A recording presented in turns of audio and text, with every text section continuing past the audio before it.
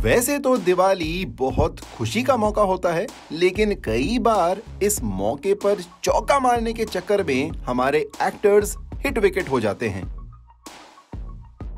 क्योंकि festive spirit को cash in करने के लिए कई बार बहुत बड़े बजट की मूवीज़ दिवाली के अराउंड रिलीज़ की जाती हैं।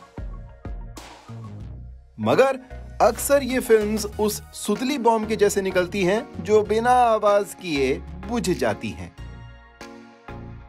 और ये ट्रेंड आज का नहीं बहुत पुराना है।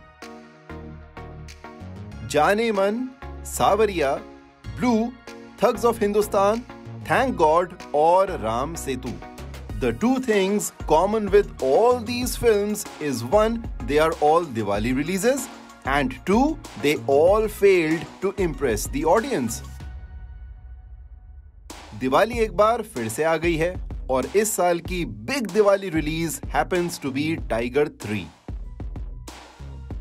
released six years after Tiger Zinda Hai the film witnesses Salman Khan and Katrina Kaif reunite on the big screen after four years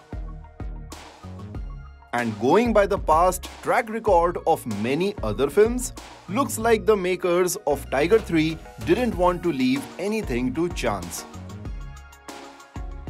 तभी तो खुद डायरेक्टर मनीष शर्मा ने बताया कि not only does this film have 12 massive action sequences अकेले सलमान खान की entry ही 10 minutes की है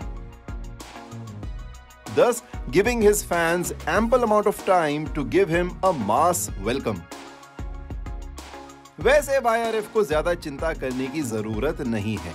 सल्लू भाई की जोड़ी कैट से ज़्यादा दिवाली के साथ अच्छी रही है। Some of the biggest game changing hits of his career have all been released around Diwali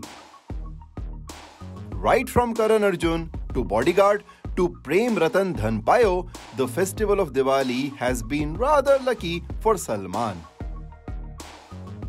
और अब की बार तो वो अपने टाइगर अवतार में आ रहे हैं जिसकी ऑलरेडी इतनी बड़ी फ़ैन फॉलोइंग है which is why we firmly believe that not only can Tiger three prove to be the biggest Diwali earner in the history of Bollywood but also might, just might break Pathan and Jawan's records as well. बाकी verdict तो जनता सुनाएगी once it surpasses the Monday litmus test. Did you catch Tiger 3 का first day first show? When do you plan to watch it? Let us know in the comments and make sure to subscribe to Shosha for all things entertainment.